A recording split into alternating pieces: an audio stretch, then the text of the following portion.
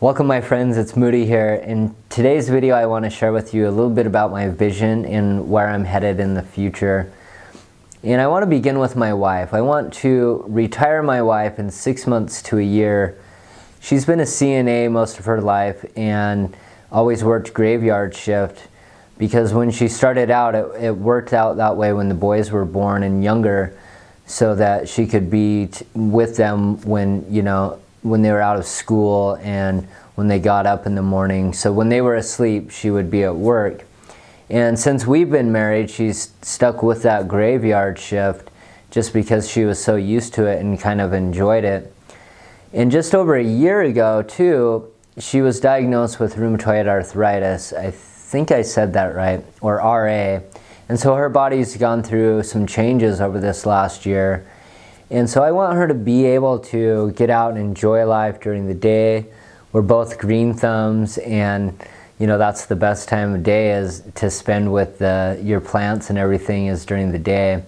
But I just really want her to start to enjoy life and be kind of stress free.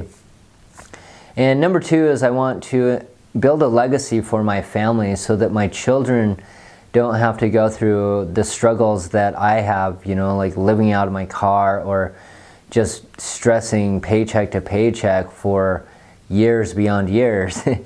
and to be able to build something that their children and beyond can, you know, be a part of.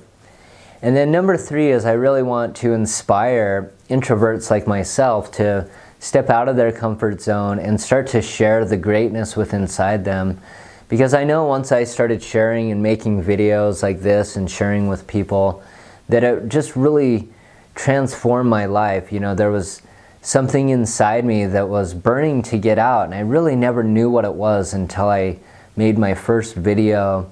I attended my first large event with the Unstoppable Tribe and just went through many breakthroughs and transformations. And I'm still working on that because it's not easy to break that introverted habit of just being in your quiet place.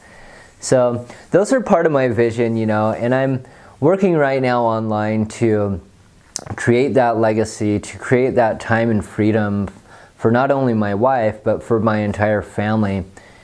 And, uh, you know, I'm also here making videos and hopefully inspiring introverts.